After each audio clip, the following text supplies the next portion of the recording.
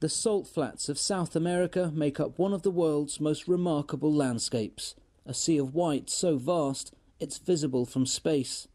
It's a popular tourist attraction, but beneath the feet of visitors, there's a resource many believe will play a vital role in the future global economy.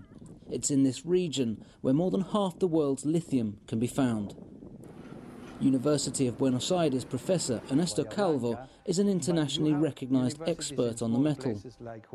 Lithium is the lightest metal, it's very electropositive, and the key is that lithium enables uh, energy density, very high energy density. So many people are working on lithium sulfur and lithium air, lithium oxygen batteries as uh, an alternative with uh, energy density comparable to, uh, to fossil fuels. Lithium is extracted here through evaporation and then used in batteries for electronic devices such as cell phones.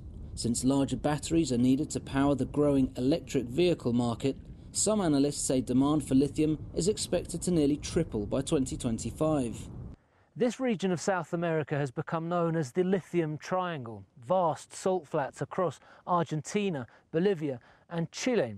But while all three countries boast vast reserves of this metal, there is a very different conversation taking place in each country about the best way to exploit this resource.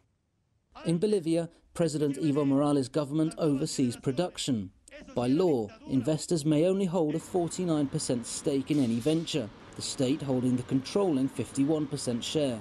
Bolivia's history is marked by bitter experiences when it comes to our natural resources. We see the need to create partnerships with transnational companies, but as the president says, we look for partners, not masters. Bolivia currently only exports small amounts of lithium. Neighbouring Chile is one of the world's largest lithium exporters, but has strict quotas on production.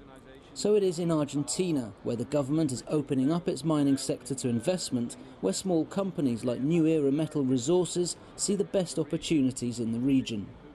Uh, the Argentine uh, government and, and uh, in particular the mining, the mining authorities, they realize and accept the fact that they are at least 20 years behind in terms of the development of, of the mining industry in their country, behind uh, countries such as Chile and Peru and they are very keen to uh, to um, to start that catching up uh, now.